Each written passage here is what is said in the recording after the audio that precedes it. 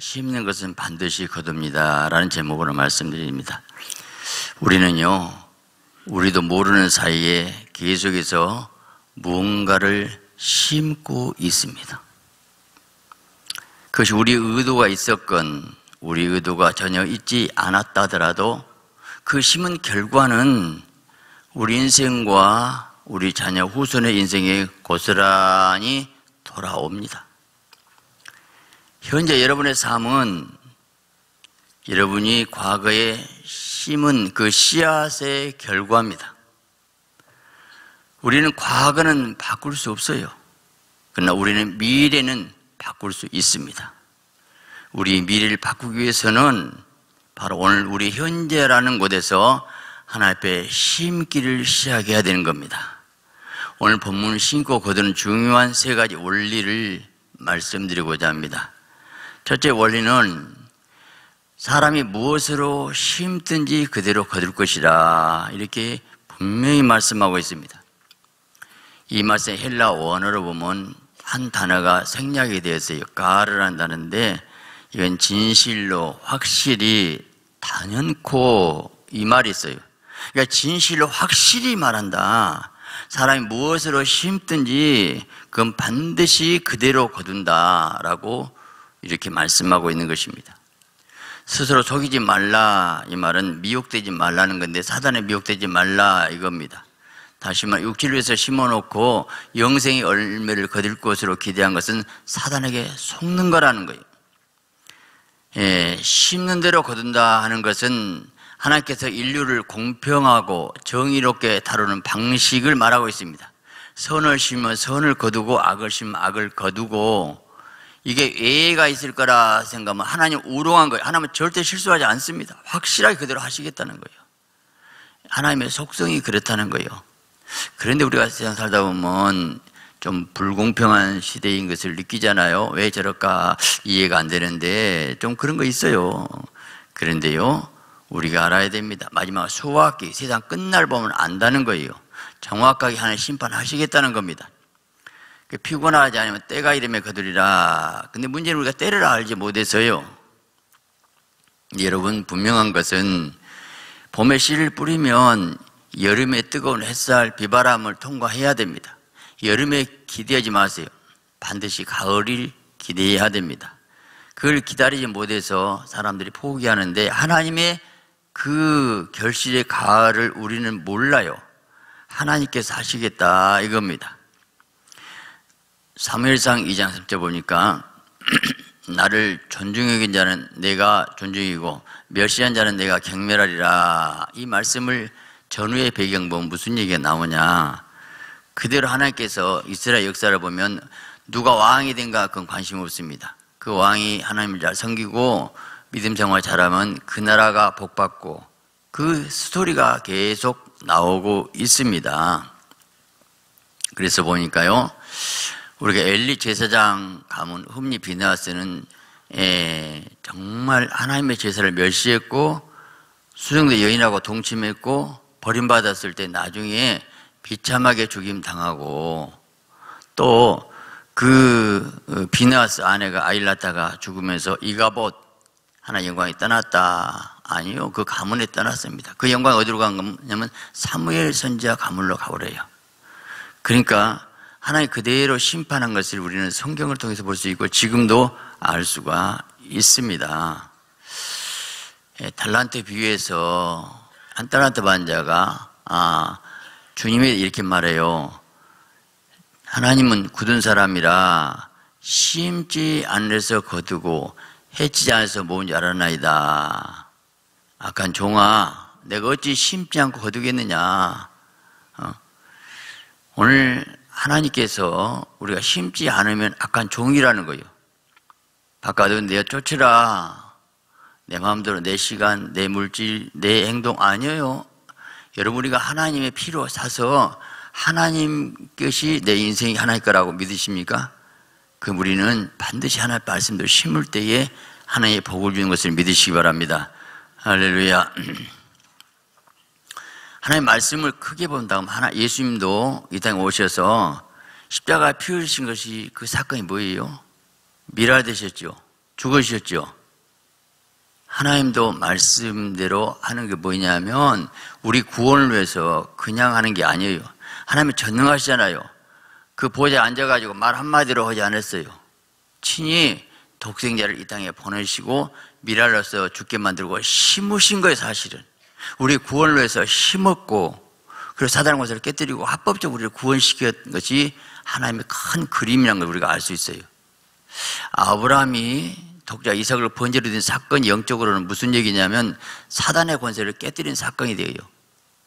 자, 예수님이 이 땅에 오시는 게 하나님의 계획인데 믿음의 주장 합격은 뭐냐면 믿음으로 구원하는 그 길은 아브라함은 십자가 부활을 경험한 가운데서 믿음으로 하나님 앞에 온전한 믿음으로 심었어요. 그게 무슨 얘기냐면 독자 이삭을 칼로 내려쳐 죽여도 하나님이 다시 살리실 것까지 믿는 그 믿음의 씨앗을 심었었을 때에 하나님 뭐라 한가 네 이제야 하나님을 경외한 자로노라 그리고 그 다음 뭐냐면 네 씨가 대적이 물러들이라 답답 네 씨가 대적이 무너뜨리라. 이게 중요한 뜻이 있어요. 니시 네 예수 그리스도가 대적의 힘은 사단의 권세를 깨뜨리고 구원의 문 양의 문 오신다 이 말이에요. 그 말은 무슨 말이냐면 하나님의 계획이 독자 예수를 이 땅에 보내셔야 되겠는데 너도 독자 아들 이삭을 3일 동안 죽이는 그 마음의 고통을 느꼈어요. 모래산까지 3일 길을 걸어갔거든요. 그리고 나서 독자 이삭을 심었어요. 아브라함의 독자 이삭을 심었어요. 근데 그것이 예수 그리스도 오늘 통로 길을 마련해 가지고 하나님의 아들이 땅에 오시는 그 길잡이가 됐다. 나 이렇게가 세우고 싶어요. 여기까지 이 말씀 깨달으시 아멘 하시기 바랍니다. 하나님은 심는 분이라는 거예요. 하나님도 그렇게 하시는데 그래서 그분의 피로 심어서 우리가 구원받았기 때문에 우리는 하나님의 사람이라고 한다면 내가 하나님이 나를 구원시켰기 때문에 이제는 하나님의 원하는 것, 그 법칙, 모든 게 신고 거두는 법칙, 그분이 피를 심어서 나를 구원시킨 그 사랑을 감사하시고, 날마다 그 사랑의 감사, 감동에 의해서, 성령의 감동에 의해서 심는 복된 자가 되시기를 예수 그리스도의 이름으로 축원합니다. 할렐루야. 자, 여러분 부모를 공경하면 땅에서 잘 되고 장수하는 복이 있다. 이게요. 자, 내가 효를 심으면 내 자녀가 나한테 효를 합니다. 반드시 아셔야 돼요. 예. 어느 목사님 테이프를 들어보면 이런 얘기가 나와요. 그분이 봤을 때 큰 기업과 큰 정치가 큰 목회자들 공통적인 것이 그 가정에 꼭 노부모를 모시고 있더라. 이런 얘기를 하더라고요. 아, 그 하나님이 법칙이 그구나. 왜? 약속에는 첫 계명이거든요. 첫 계명. 그러면 여섯째 살인하지 말, 일곱째 가늠하지 마라. 더 앞선 거. 우리 살인 가늠은 큰일 나죠. 근데 부모 공경하고 싶고 말고 싶내 마음이요. 하나님 볼 때는 이게 더 크다는 거예요. 더 크다는 거. 예, 예 내게 생명을 주신 분이기 때문에 예, 생명의 통로가 되기 때문에 그건 뭐냐면 그대로 하면 또 내 자녀가 복 받아요.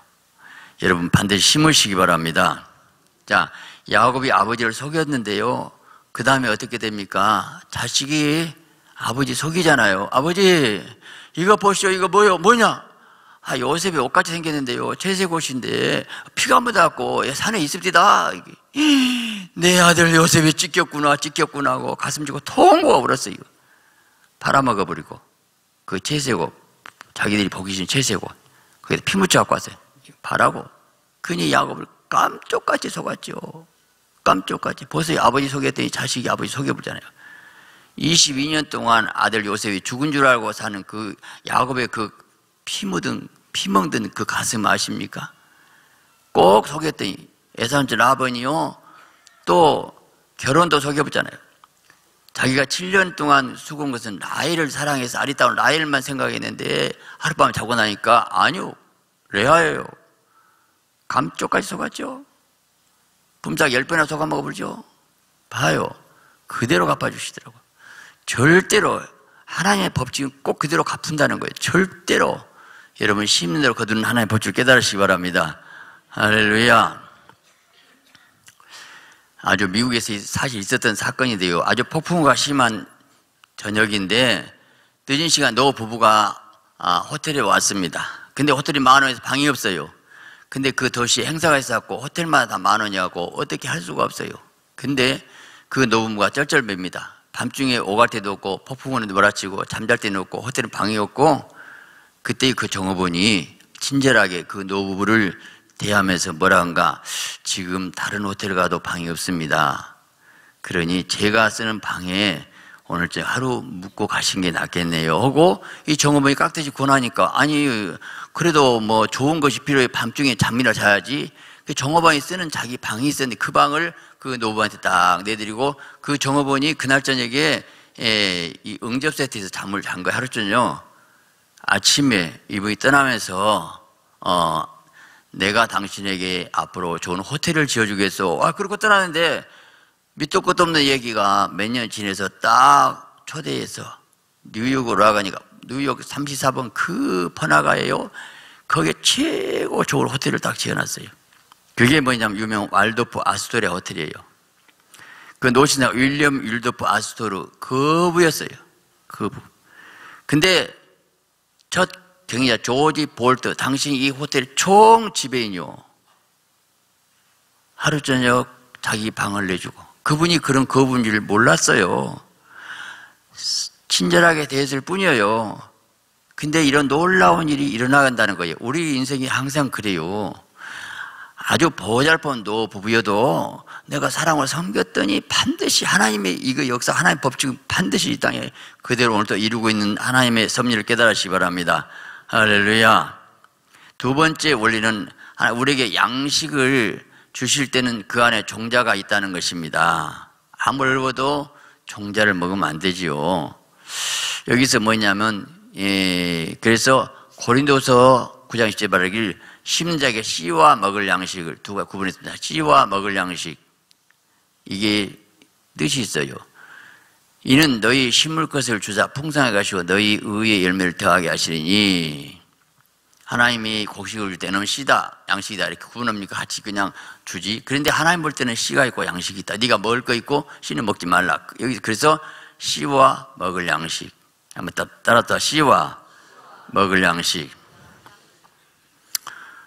양식만 너 씨는 손대지 말아라. 왜요? 씨를 손대면 내일이 없어요.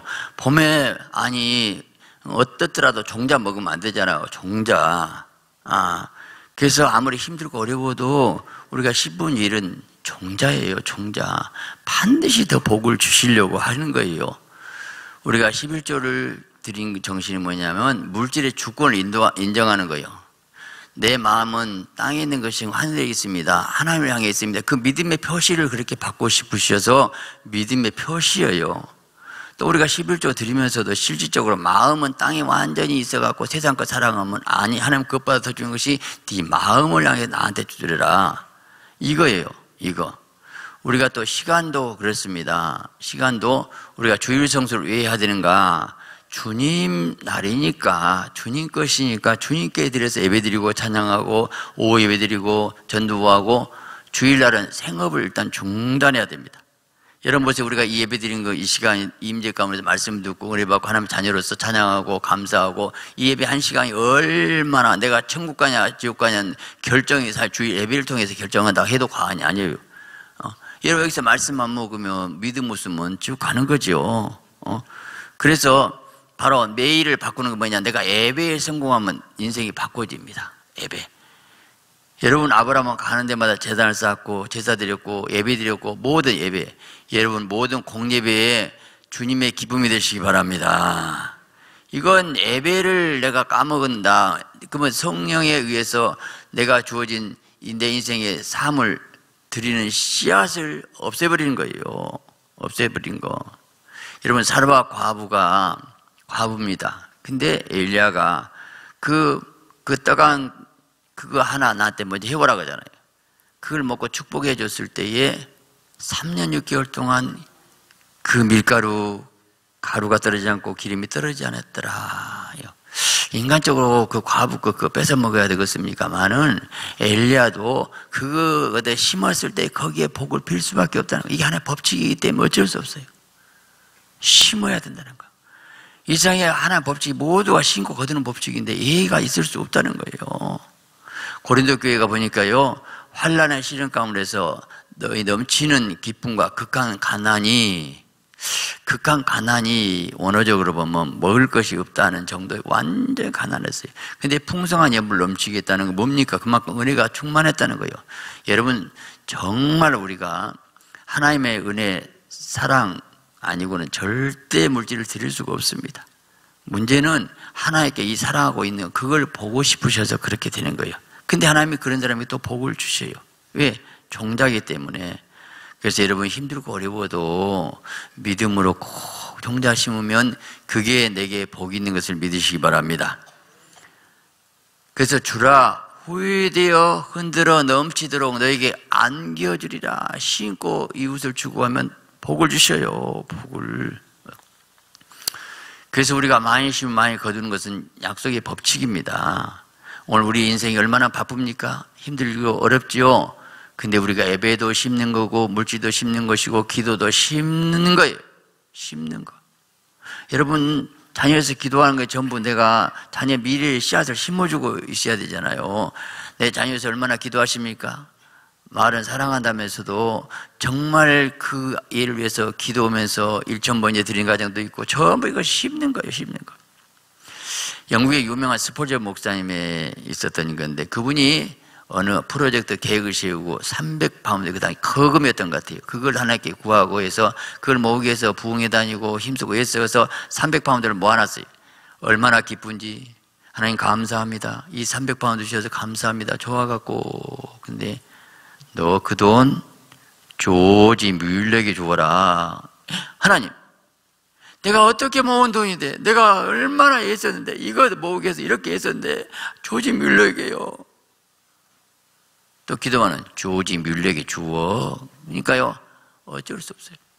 그래서 이제 가지고 조지 뮬러 목사님 갔답니다. 그때 과원하고 있는 조지 뮬러 목사님 가보니까 그 목사님이 하나님 300파운드 주세요. 기도가 앉았네. 스펄전 목사님이 당신 기도한다 300파운드 여기 있어. 퉁명스럽게 뭐 주고 싶고 사람이 뭐라고 하니까 갖다 주면서도 그 말했겠죠. 응? 근데 그 후에 스펄전 목사님에게 성령 임재가 임해가지고 얼마나 더 은혜가 오는지 그 후에 또 다른 분이 더 많은 것을 스펄전 목사 딱 갖다 주고 이걸 믿음 본 거예요.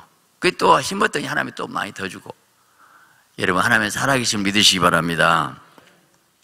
그 우리가 저는 독수리 제자 훈련도 이런 생각이에요. 우리가 참새가 날면 바둥바둥 바둥바둥 지쳐요. 힘쓰고 애쓰고 그러지 말고 정말 말씀에 의해서 이게 믿음 훈련이거든요. 독수리 날개가 2m인데 낙수리가 날개를 안 친답니다. 2m 날개 대쳐요. 날개 친다는데 아니래요. 기류를 탄대요. 기류, 바람을 타요. 바람을. 폭풍이 센 만큼 바람 각도만 딱 조정하고 타고 올라가 보면 그 길을 이용해갖고 날아버려요. 막 공중을 창공을. 오늘 성령의 바람 탓이다.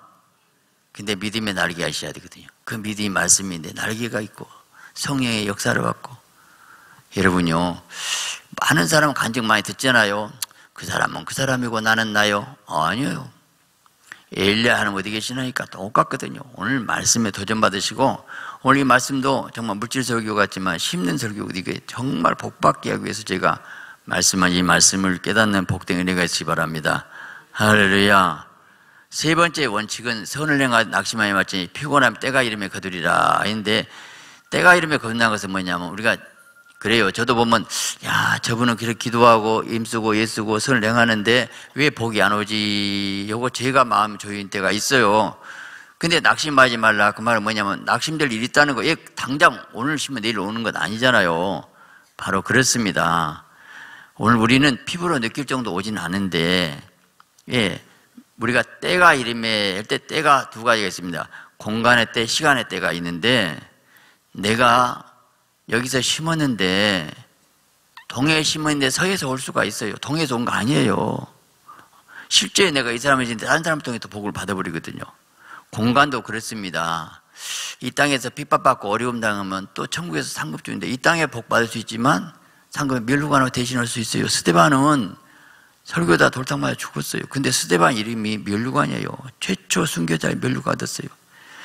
선만학교는 죽도록 충성하라 생명임을 얻으리라. 라우디아 교회는 뭐라 했어요? 어, 하나님 보호자 함께 함께 있다. 이건 이 땅인데 하늘에서 준다는 거예요. 절대 여기서 너무 칭찬 많이 받고 복방 받아 하늘나라 받으면 더 좋잖아요. 어, 그래서 우리가 알 수 없어요. 내가 신고 내 당대에 받을 수 있지만 내 자손 때 손자 대에 받을 수가 있어요. 우리는 알 수가 없어요. 그 때를. 여러분 서울 소망학교 곽선임 목사 훌륭한 분이 계시는데 그분 이런 말을 했어요. 자기 할아버지 할머니가 그렇게 거지들 초청 잔치를 많이 했답니다. 그래서 그분 잔치 한다면 온 면에 뭔 소문이 났고 우이 거지들이 수십 명 수백 명 몰려와 그 거지들 먹이고 입히고 쌀 주고 막 그 잔치를 그렇게 했더니 내가 그 열매를 받아먹는다. 그랬어요. 이게 손자대까지 갔네. 그건 우리가 알 수 없어요. 어? 반드시. 근데 대부분 내 당대만 자식 때까지는 꼭 받아요. 반드시 받아요. 저는 역, 그 통계적으로 많은 분이 보면 3대 정도 가면요, 당대는 좀 힘들고 어려워. 예, 개척해야 되니까 사단과 싸우니라고. 근데요, 2대, 3대만 가면 4대는 뭐 굉장히 훌륭한 장로님들이 가지 다 들어보면 다 할머니, 할아버지 얘기가 나와요, 꼭. 이야, 반드시 하나님 복을 주시구나. 여러분, 자녀를 사랑하시죠? 내 자녀들 앞에 정말 기도로, 사랑으로, 물질로 심어서 그 자녀에게 복을 준 여러분 되시기를 예수 그리스도 이름으로 축원합니다. 할렐루야. 다윗이 잘을 심었었을 때요. 솔로몬 행위로 봐서는 지옥 가야 돼요. 정말로 타락했거든요. 우상까지 숭배했거든요. 근데 솔로몬을 극적으로 해결시켰어요. 전도서 기록하고 잠언서 기록하고 이건요 다윗 때문이라고 나와요. 내가 다윗을 봐서 봐준다고 해요. 다윗 하나 때문에 아버지가 잘해놓으니까 자식이 타락해도 겪고 구원을 시키더라고 역사하더라고요. 내 자식 그렇게 사랑한다면서도 하나님 앞에 해야 된대요. 자식한테 살림 물려주려고 요. 한 순간에 그건 독수리가 날겠지 날아갈 수 있어요. 절대 믿음 심어주고 정말 영적 신앙 밖에서 성령으로 심으시기 바랍니다. 할렐루야. 예. 그래서 시간과 공간을 내 시간을 안 맞추기 때문에 시험된데 아니요. 네 시간 네 공간 아니다. 하나님의 방법으로 하는데 오히려 더 많이 주고 더 크게 주세요. 어? 가난한 자 불쌍해서 여호와께 구워준 것이 그 세를 갚아주리라. 하나님께 구워줘 가지고 하나님 띄어먹을까? 사람한테 구워주면 절대 내 손에 있을 때 내 거지요. 나간 순간 절대 내 것 아닙니다. 주어야 받는 거예요. 절대 알아셔야 돼요. 아예 구워줄 때는 못 받는 생각 없이 구워줘야 돼요. 어? 마음을 딱 비워야 되는 거예요. 하나님 앞에 절대 확실히 근데 선을 갚아주리 하나님 갚아주면 한 배, 두 배입니까? 어? 훨씬 많이 갚아준 그 하나님 믿으시기 바랍니다. 남을 윤택한 자는 윤택할 것이요. 과하되 아껴도 가난할 뿐이라. 남을 여러분 인생 법칙은요. 내가 놈을 성공시켜 줄까? 그래서 아브라함 내게 복의 근원 되라. 복의 통로가 되라. 이게 복이거든요. 내가 남 어떻게 복을 줄까? 그러면 하나님 너 그릇됐다고 복을 주거든요. 남은 것 쟁취하고 빼앗아가지고 아니요 그건 저주예요. 좀 더 얻으면 못해요. 아니 하나님 그런 방법이 아니거든요. 그래서 남을 성공시키 윤택하게 해주면 내 마음이 편안하고 사랑이 오고 나를 통해 성령 흘러가게 되고 그래서 남을 성공시켜 주려고 생각을 하는 거예요.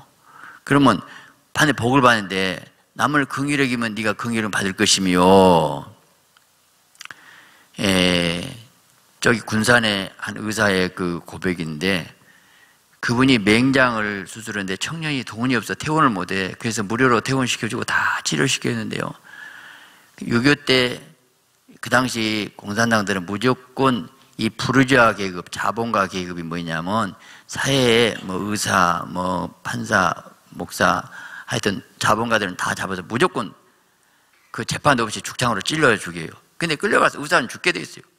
와, 근데 한 청년이 이분은 우리 폴라 농민으로서 일했다고 막 보니까 그 맹장수술 그 청년이 무료로 시술해주고 퇴원식에 그 청년이 공상나자고 자기를 살려주더랍니다. 절대로요. 그 청년이 그렇게 해갖고 내가 언제 저놈이 나한테 받을 그거 아니에요. 그저 해줬더니 하나님의 역사는 그렇게 하는 거예요. 어?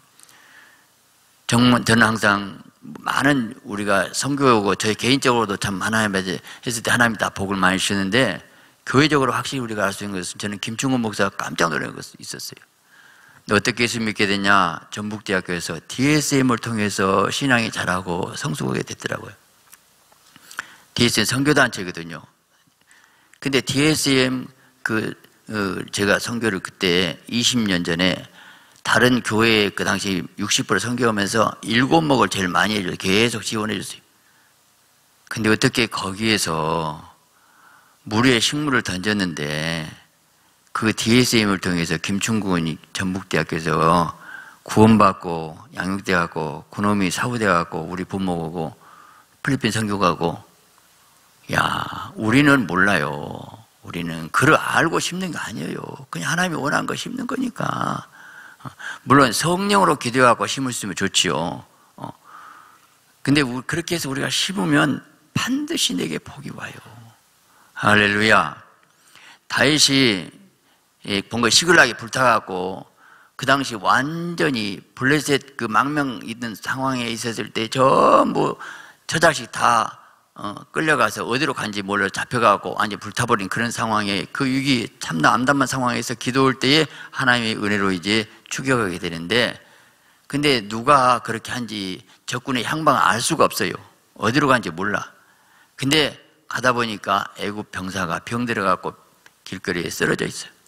굶어서 죽게 돼 있어요. 그 병사를 불쌍해 가지고 먹여주고 치료해주고 했더니 그 병사 입에서 이 군대의 향방을 내가 안다고. 그 사람을 치료해줬더니 그 사람이 방향을 가르쳐줘 갖고 적군들이 있는 위치를 깨닫고 엄습해 갖고 전부 찾아오잖아요. 오늘 하나님이 우리 주위에 병든 애국 병사 옆에 놔두고 있거든요. 가난해서 굶어 죽게 생긴 애국병사, 숨 넘어간 애국병사가 있어요. 근데 그것을 통해서 고치고 네가 뭐 그 입을 통해서 그거 보고 내가 복 준다는데 우리는 그걸 무시해요. 나한테는 잘난 사람, 똑똑한 사람, 도인 사람 나 좀 도와주세요. 도와주세요. 아니요. 이 지극히 작은 자의 것이 나한테 한 것이란 거예요. 예수님 대하는 거예요. 정말 복은 거기가 와요.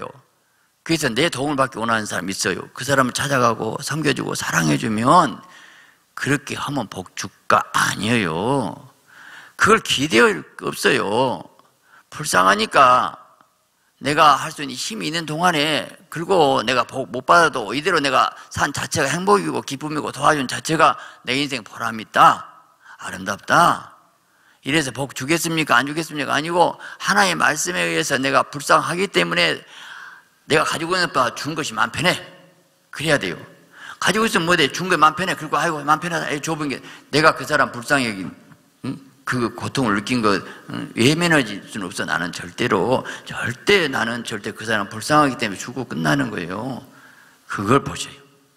오늘 우리가 하나님 다 아셔요. 여러분 우리가 하나님 사랑하기 때문에 영원 사랑하기 때문에 그 쓰러진 예고병사를 찾아가세요. 그거 한 명 구원하세요. 힘들고 어려운 사람 찾아가세요. 교도소 군대 선교하면 얼마나 좋아하시는지 몰라요. 외국에 선교나 얼마나 좋아하시는지 몰라요. 하나님, 내가 정말 하나님 한 영혼 살리기 위해서 주님의 사람 되기 원합니다면 주님이 복을 주십니다. 심는 대간에 갚으시 하나님 깨달으시고 여러분 날마다 삶 자체가 기도를 신고 사랑을 신고 전도를 신고 물질을 신고 심는 기쁨 날마다 행복한 여러분 되시기를 예수 그리스도의 이름으로 축원합니다.